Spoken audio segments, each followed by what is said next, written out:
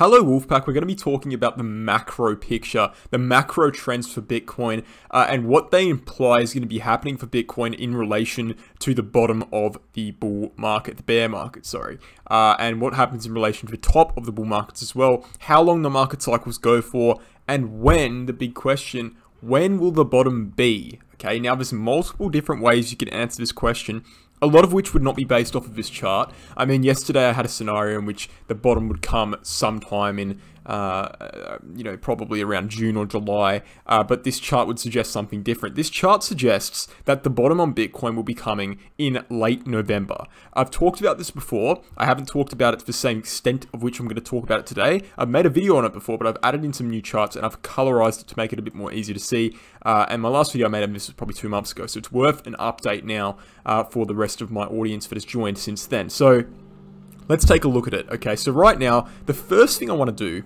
okay, and, before before I get into this, even before I get into this, I want to say that a lot of people wouldn't think that um, measuring time periods between cycle and cycle and cycle is, is very accurate. But this is generally speaking based off the four-year cycle theory. A lot of people would think, and, and the vast majority of people, I think, would think that the four-year cycle theory was invalidated in 2021. This video is going to prove that not to be the case at all. Okay, so first and foremost, we have these blue lines here at the top. This is measuring from the top of 2013 to the top of 2017. We had 1,400 days, okay? So that's fine. From the top of 2017 to the top of 2021, we again had 1,400 days, okay? That could be a coincidence, so let's see something else. From the bottom of 2015 to the bottom of 2018, we had 1,400 days. Okay, now it's becoming a little bit of a trend. And from the bottom of 2018 to the suspected bottom of 2022, uh, which would be November 28, it would be around, around 1,400 again. So we have three distinctive data points there. Uh, and as you guys would know, three data points is needed to form a trend. So that is a valid trend. 1,400 days until the bottom uh, would be expected from the last bottom. That would take us to November this year. Okay, so that's that's the evidence for the bottom happening in November. Now, looking at it a bit further, we can see there's more evidence. Look at these green uh, rectangles here. These green measurements. Okay, so from bottom 2015 to top 2018, there was 1,064 days exactly. From bottom 2018 to top 2021, Again, 1,064 days exactly. Okay, that is not a coincidence. So now we have one, two, three, four, five different data points, all of which forming a very strong trend, all of which suggesting that the bottom will be in November 2022. That's pretty compelling. If we wanted to extra extrapolate this data even further, we could add 1064 days to the suspected bottom. Again, this is getting a little bit iffy here, but and that would say that the next bull market top is going to be in October 2025. Now we can ask the question, well, does this add up from top to bottom? And these yellow rectangles are asking that question, and this is where it gets a little bit more rough but it still makes a pretty good case. Okay, so from the 2013 top to the bottom of that bear market, it took 100, 413 days. All right, and then from the 2018 top to the bottom of that bear market, it took around uh, 371 days. Okay, and now from the top of 2021 to the bottom of 2022, suspected bottom of 2022, it would be 378. Okay, so look, 413, 371, 378 all of those dates are basically almost within a month of each other. Okay, so now we have eight different data points, all connected to some extent.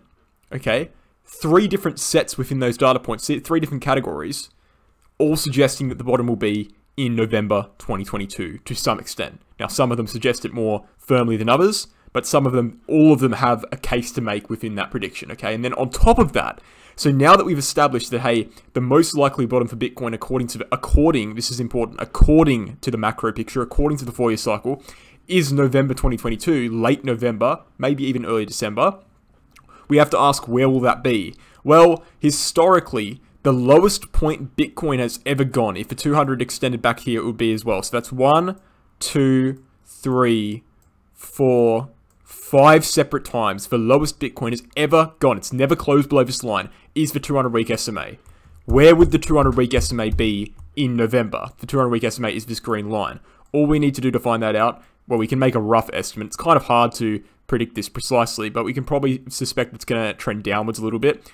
By that point, it will be at around 24,000 USD Is 24,000 USD a major resistance zone? Support zone? Yes, it is. If you flipped over to the daily chart, 24,000 USD is a point in which there is buying and selling contention during the run up in 2020. So that is the prediction for Bitcoin according to the macro picture, according to the four year cycle. And I hope this video informed you of that. So November 2022, around 24K. I've been saying this for a long time now, but this chart I haven't looked at for a while. And so good to keep you guys updated on the situation. This is the four-year cycle. The four-year cycle is very clearly, very much still in play. I don't see any evidence of a lengthening cycle of any kind here. Okay, I can see evidence of the actual bull market itself lengthening, but I don't see evidence of the entire cycle, bull market and bear market included, lengthening. It's just not happening. I mean, all we need to do is look at the numbers here, right? 1,064 days from bottom to top, 1,064 days from bottom to top, 1,400 from top to top, 1,400 from top to top, 1,400 to bottom to bottom, and then 1,400 from bottom to suspected bottom. And then with those yellow rectangles in between, it's, it's pretty obvious that a lengthening cycles theory is not playing out yet. Maybe it is from the halving, but certainly not from top to top and bottom to bottom. Thank you for watching, guys. Hope you enjoyed the video. Hope you learned something about it. This is a very interesting chart. Let me know what you think in the comment section below, and I'll catch you in the next one.